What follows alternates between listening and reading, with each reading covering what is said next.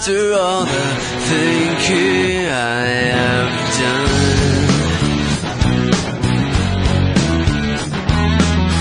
With all the hours of showering you.